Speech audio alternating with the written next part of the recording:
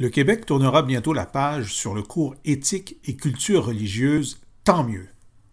Mais avant de lui dire adieu, je pose la question de l'impact qu'a eu cet enseignement sur les convictions de nos jeunes et si on avait créé une génération de multiculturalistes athées?